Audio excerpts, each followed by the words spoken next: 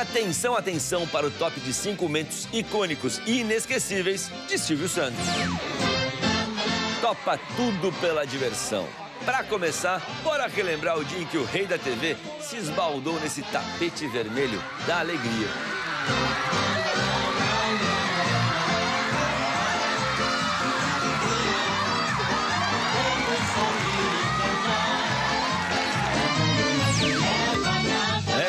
A calça do vovô não sobe mais. O dia que Silvio Santos quase ficou peladão na telinha. Segura!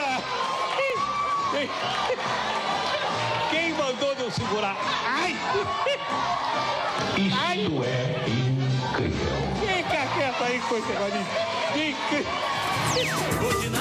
esse Da Sapucaí para a eternidade. Seu inesquecível desfile na tradição em 2001. Alegria do povão. Qual é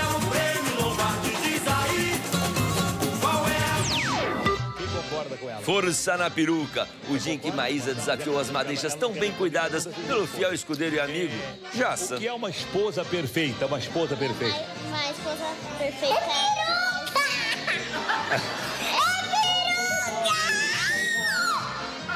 O quê? É peruca! Você usa peruca, Silvio Santos!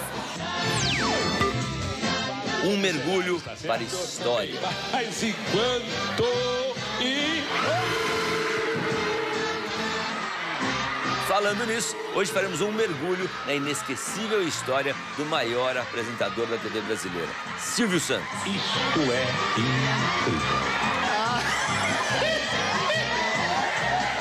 Senhoras e senhores, e com o coração já cheio de saudades, o seu Domingão tá de volta.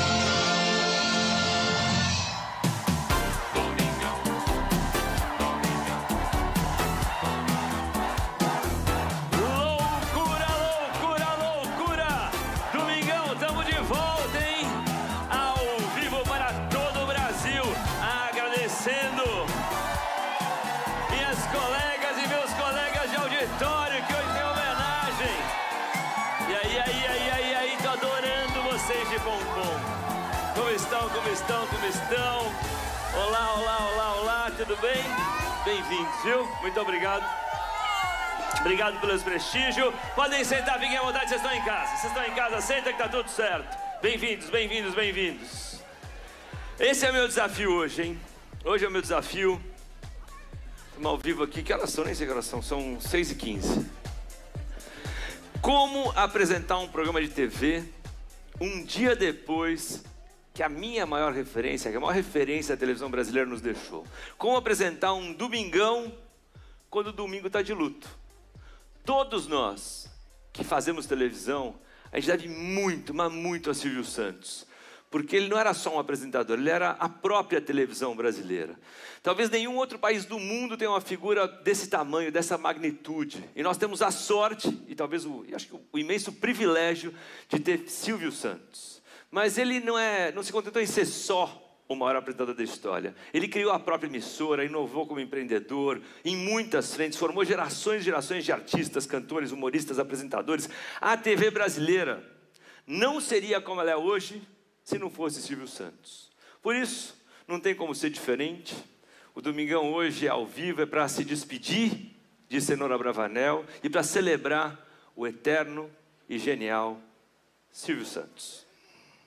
Podem abrir as cortinas, podem abrir as cortinas. É a terceira vez que eu tento realizar essa prova. Essa prova é fácil, segura o microfone. Essa prova, a pessoa, a pessoa sobe aqui na escada, a pessoa sobe na escada, e aí então a pessoa tem que sentar aqui, tá certo?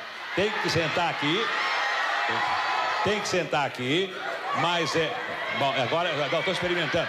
Eu estou experimentando a tábua. Eu estou experimentando a tábua.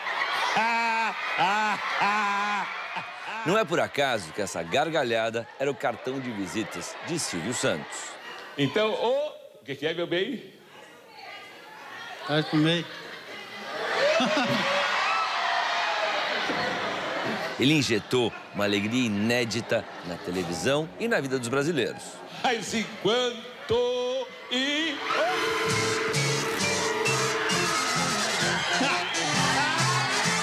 Silvio foi uma figura fundamental para popularizar a TV no Brasil. Ele foi o apresentador que melhor soube falar a língua do povo. Qual é o seu desejo, Arlete Meu desejo é um jogo de prata, de chá e café com seis peças. Não pode ser cinco, não. Vamos abrir as portas da esperança.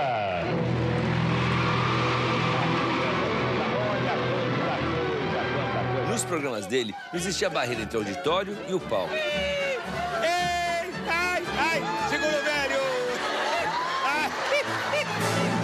Trazia o povo para dentro. Ele não tinha medo de estender, de compartilhar o microfone.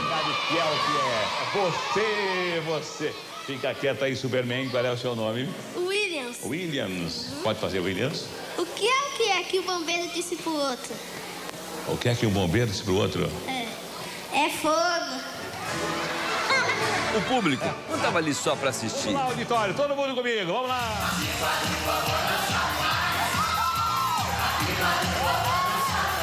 Na verdade, eram as colegas de trabalho. São muito gentis, são muito amáveis e são muito simpáticas, não é verdade? De terno e gravata, ele misturava a pompa de um apresentador de TV clássico com o desprendimento de quem não tem medo de rir de si mesmo. Caraca! Quem é você? Eu? Você não sabe ainda? Não. Não? Não. Então, adivinha, vai. E de fazer rir. Rir sem parar. Tá rindo o quê? Espelho fiel meu, tem homem mais bonito. Ai, tem homem mais bonito do que eu? O espelho, o espelho respondeu. Ai, no eixo. O respondeu. Eixo. O microfone parecia fazer parte do corpo de Silvio. Era como se tivesse nascido ali, com ele. Silvio Santos entendia como ninguém o que o público queria. Para você, a programação de amanhã na TVS, canal 11 do Rio de Janeiro. É uma programação muito boa. Eu estou fazendo propaganda porque realmente vale a pena ver. E com essa intuição, ele pôde criar uma infinidade de programas e quadros que atravessaram décadas. Zezinho, uma nota para o Rony Bom. Qual é a música? Um, dois, três, quatro, cinco. Perdeu de novo. Carlos, qual é a música, Carlos? No cardápio tinha de tudo. Game shows, programas de namoro, Namoro, amizade. Namoro. Namoro. shows de calouros, realities, pegadinhas, premiações, sorteios e por aí vai. Roda. Seis, você empata. Cinco, você é o segundo colocado. Vamos lá. Além de uma coleção enorme de bordões Quem quer dinheiro? Quem quer dinheiro? Quem quer sem e de músicas compostas para cada momento do programa.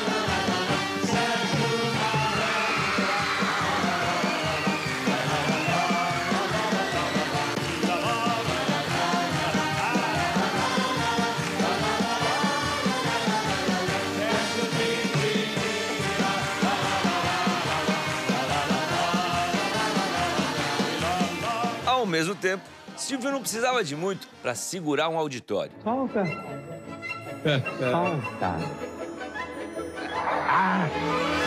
O imenso carisma e talento bastavam para divertir o país inteiro ao longo de horas. E se algo dava errado no programa, não importava. Sempre sabia o que fazer. Oi! Oi! Pode deixar. Tá vendo, Dorinho? Eu entrei bem de uma causa. Vai, irmão. É Dorinho. O quê? Como? Como? Tá Dorinho com. Tudo isso deu a Silvio Santos uma longevidade maior que qualquer outro apresentador de TV. Eu fiquei um ano e meio no asilo de velho. Não me aceitaram. Não é por menos que no ano passado o programa Silvio Santos completou 60 anos no ar. Meu pai, você também.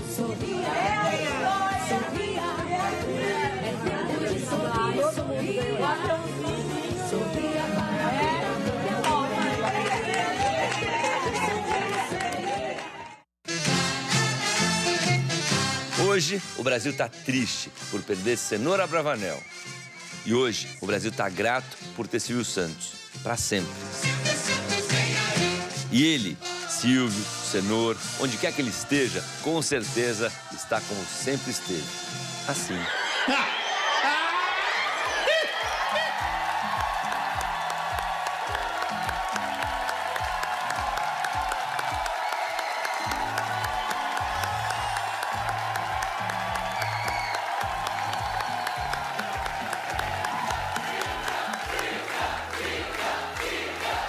Olha, eu quero expressar todo o nosso carinho. Iris, Patrícia, Rebeca, Daniela, Renata, Cíntia, os genros, os netos, parte deles amigos queridos que eu tenho muito carinho e respeito, estendo também aos colaboradores e colegas do SBT. E vamos começar, hein? A música do programa Silvio Santos diz: do mundo não se leva nada. E é verdade. Mas no mundo pode nos deixar muita coisa. E Silvio Santos nos deixou muito. Isso não vai embora nunca. E por isso, o Domingão de hoje é, antes de tudo, para expressar a nossa gratidão e a nossa.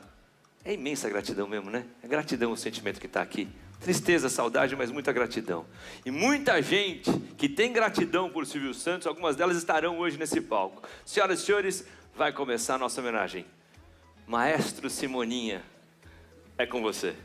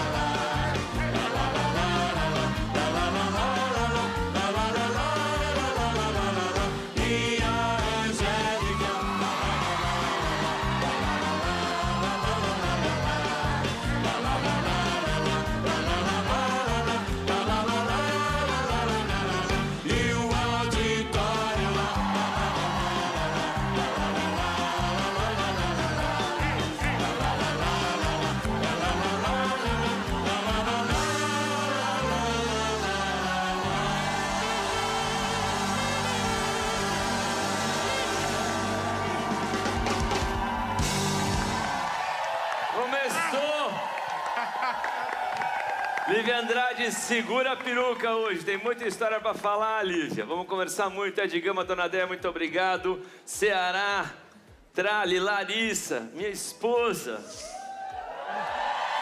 É, Larissa. Duro hoje. Mas vamos embora. O haja coração. Muita história para contar.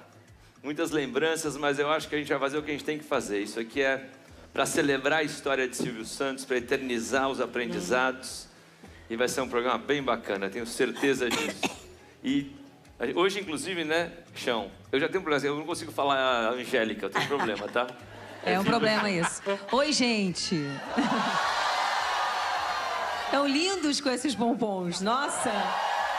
Voltamos no tempo ali, né? Tem tantas histórias que a gente vai contar hoje aqui. Ela, esses dias, últimos dias, desde ontem, a gente vem relembrando um pouco a história da Angélica com o Silvio, com o SBT. Larissa, nem sei por onde começar também. Acho que tem momentos icônicos. Muitos, muito especiais que eu carrego comigo, no coração, na lembrança. Tô muito emocionada.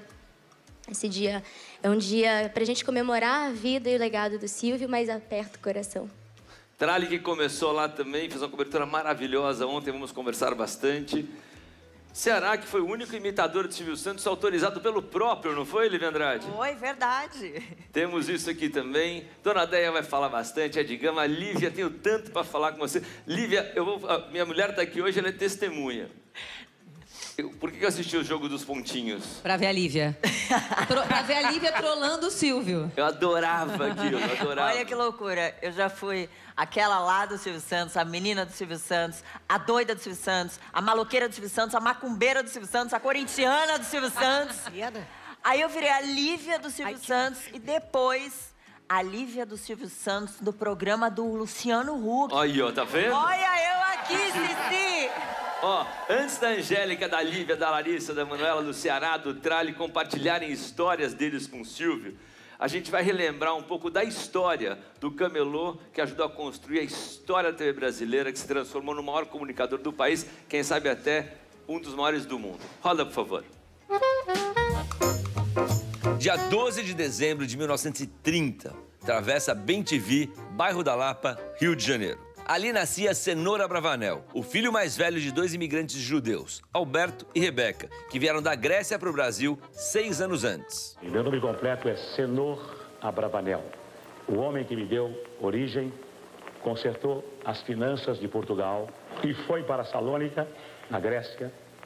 De lá então, meu pai, meu avô tiveram o título de Senhor Dom Abravanel. E aqui no Brasil não existe dom, então ele colocou Senhor. Senhor quer dizer Dom Abravanel. O mais famoso nome artístico do Brasil surgiu anos mais tarde, quando ainda garoto participava de concursos de locutor. Como ganhava todos, foi proibido de concorrer. Então, por que não inventar um nome diferente para continuar concorrendo? Assim nascia Silvio Santos.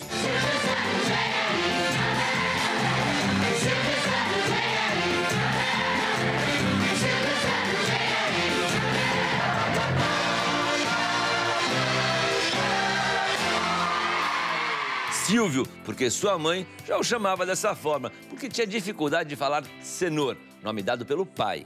E Santos, porque, segundo o próprio Silvio, todos os santos o ajudam. Deus me deu saúde, Deus me dá raciocínio, Deus me deu consciência que me rege primeiro, razão que me rege segundo, coração que me rege em terceiro. E que nos diz o seguinte: amai aos outros como a ti mesmo. Esse é o Deus que eu acredito. Além dessa fé inabalável, Silvio Santos, como ele dizia, trabalhou duro até se tornar o maior nome da história da televisão, da comunicação e do entretenimento no Brasil. Ganha dinheiro com 10% de 10% de inspiração e 90% de transpiração. Só. Durante mais de 60 anos, Silvio Santos levou muita alegria aos domingos de milhões de brasileiros. Desde muito jovem na vida profissional, já mostrava um talento gigantesco. Personalidade do ano? Muito obrigado. Essa imagem de Silvio, sem mãos suficientes para receber tantos prêmios do Roquete Pinto, é impagável. E Silvio Santos ia muito bem com o povo. Foi ele quem abriu as portas, estendeu os microfones, abriu as câmeras para que o povo fosse o protagonista da televisão. Vem pra cá, vem pra cá, vem pra cá. Olha lá, olha lá, uma câmera escondida com o Gibi e com o Ivolando. Talvez porque ele mesmo seja o retrato da resiliência do brasileiro. Resiliência que teve desde criança, quando precisava trabalhar para levar dinheiro para casa. E nas ruas do centro do Rio de Janeiro veio o primeiro grande teste do talento, da intuição e do carisma de Silvio Santos. Após a ditadura Vargas, em 1945, os brasileiros estavam felizes por voltarem a votar.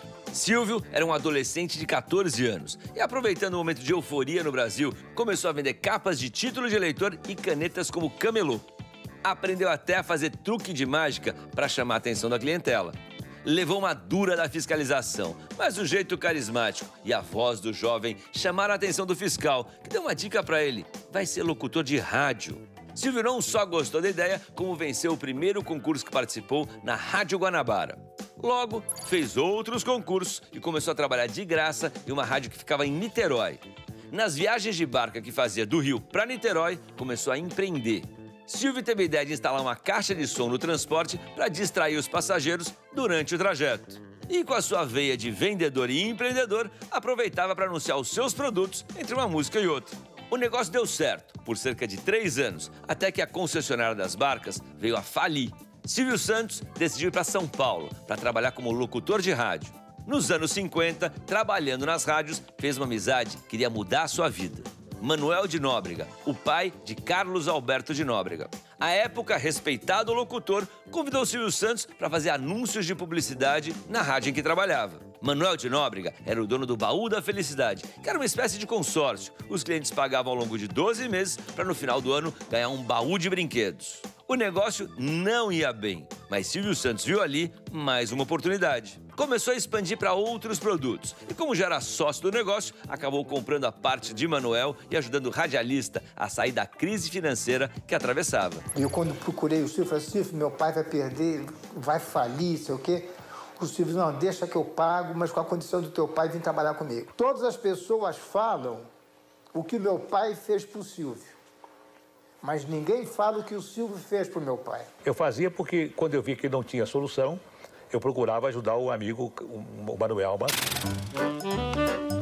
Na capital paulista, uma ideia genial. Para vender os populares carnês, Silvio Santos montou shows gratuitos de circo no meio da rua. Era a caravana do Peru que Fala. O peru vai cantar agora. Eis que surge o Homem do Baú. E esse foi o primeiro passo para a criação do Grupo Silvio Santos. O mesmo Manuel de Nóbrega convidou Silvio Santos para ser animador do seu programa de rádio no fim da década de 50. E Silvio usava o espaço para alavancar as vendas dos carnês do Baú da Felicidade. Em 1959, Silvio Santos estreia na televisão com o programa Audições na TV Paulista. E o sucesso foi estrondoso. E durante a década de 60, Silvio já se firma como a maior referência televisiva da época. E dali, bom, dali não parou mais. Para contemplar o gigantesco talento do apresentador, só um programa com a duração gigantesca seria suficiente. Surge então em 1963 o programa Silvio Santos. Silvio chegava a ficar 10 horas seguidas no ar aos domingos. Em 1965, a TV Globo compra a TV Paulista e Silvio então passa a ter o programa Silvio Santos na emissora carioca. Senhores telespectadores, estamos apresentando pela Rede Globo de televisão. Como era o dono da atração, Silvio começa a alugar um horário na grade para a transmissão do programa. Todo o Brasil, pela Rede Globo de televisão.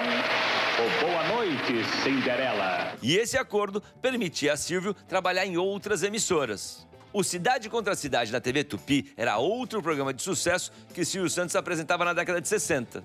Para você entender a popularidade e a força, na semana em que o homem pisou na Lua, em 1969, essa atração ficou apenas um ponto abaixo no Ibope, comparando a este, que sem dúvida foi um dos maiores eventos mundiais de todos os tempos. Em 1975, também com a ajuda e orientação de Manuel de Nóbrega, Silvio Santos compra o próprio canal de televisão, o Canal 11 do Rio de Janeiro. E no ano seguinte, deixa a TV Globo e inaugura a TVS. Em consequência de seu prestígio junto ao governo da época, fez-se um elo entre o Grupo Silvio Santos e o Ministério da Comunicação, resultando aí a concessão de um canal de televisão no Rio de Janeiro, a TVS. Eu espero continuar também sendo sorridente, brigalhão e alegre na vida real, porque aquilo que eu faço no palco não é tipo, não é teatro. Aquilo que eu faço no palco eu faço aqui com vocês, faço daqui a pouco na outra sala. Mas sei separar as minhas responsabilidades de animador de programas com as minhas responsabilidades de empresário de televisão. Mais tarde, em 1981, a TVS se torna o SBT. No SBT, o programa Silvio Santos era a principal atração e contava com quadros como Qual é a música? Sentimental Demais é o nome desta linda música que foi gravada pelo saudoso Altemar Dutra. Show de calouros. Já estão no palco para receber as palmas da plateia. Vamos tomar o show destas meninas bonitas. A genial Porta da Esperança. Qual é o seu desejo, Renata?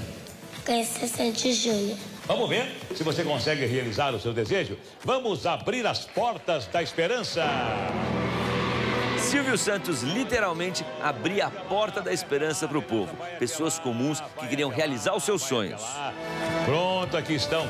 Silvio Santos tinha a sensibilidade e o talento de tratar o povo com o mesmo jeito e carinho que tratava celebridades. Uma destas chaves vai ligar o automóvel. Chico Anísio! Cadê o Chico Anísio?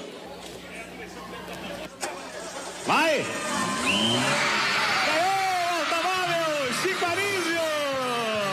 Os convidados brincavam porque Silvio Santos era brincadeira em pessoa. E como se divertia! O programa Silvio Santos foi o companheiro de milhões de brasileiros durante muitos domingos. A paixão popular por Silvio Santos era tamanha que, em 1989, duas semanas antes das eleições presidenciais, ele anunciou que seria candidato à presidência da República pelo extinto partido PMB. Mas os adversários não gostaram e contestaram o número de coligações do partido e a candidatura foi impugnada pelo Tribunal Superior Eleitoral. Silvio Santos virou essa página e seguiu sendo o animador mais amado da TV brasileira. Ele e suas colegas de trabalho, como costumava chamar seu auditório, eram um verdadeiro show. Amor amizade? Quem quer? Quem quer dinheiro? Silvio é um gênio. Não dá para dizer que perdemos Silvio Santos. Nós ganhamos Silvio Santos. Ganhamos a melhor e mais conhecida risada do Brasil. O mais largo sorriso. O mais animado e competente apresentador da TV brasileira.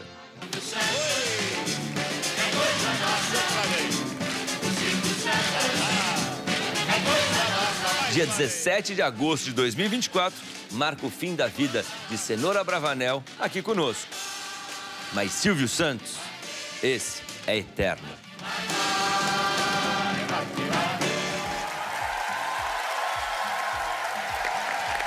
Olha, não, que história, né? Que história, que história de vida. Ó barato, cara, entrar ali. O começo empreendedor, é muito bonito. Eu cheguei hoje cedo aqui, né? E a gente tá montamos esse programa de ontem para hoje. E aí, por acaso, eu cheguei no, no cheguei no auditório com as minhas colegas de trabalho aqui de manhã.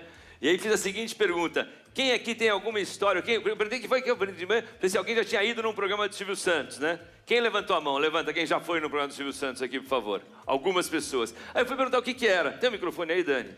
Olha que. Como é que o senhor se chama? Eu adorei as fotos. Traz uma câmera aqui para mim, por favor, só para eu mostrar aqui. Como é que você chama? Edilson. Edil, você me trouxe as fotos. Qual é a tua história com o Silvio Santos? É, eu frequentei o namoro na TV, né? Aham. Isso tem 41 anos. Uhum. E conheci uma pessoa, né, chamada Eliane, e nos casamos. Estamos casados já há 38 anos, tenho uma filha, já tenho netas, e agradeço muito ao Silvio Santos por tudo que, em parte, né? Então, essa foto, tem como mostrar a foto aqui? Tem, Maurão? Alguém fecha aqui? Ro- Rogério, fecha aqui pra mim, ó. Tem como? Aí quero vai ser ninja fechar de longe aí. Ah, tem lá, tem lá, botaram lá, botaram lá. Esse aqui é você no namoro na TV? É. Eu sim. E sua esposa veio? Não, ela não veio, que estava com problema agora. Vocês brigaram? Não, não. Ah, tá. Problema com a minha sogra que está doente. Ah, então ela tá não bom. pôde se Então afastar. melhoras pra tua sogra e obrigado por ter vindo aqui. Ah, Fechado? nada, nada. Fica bom. Fica com Deus. Muito bem. Esse tipo de história que a gente tava falando.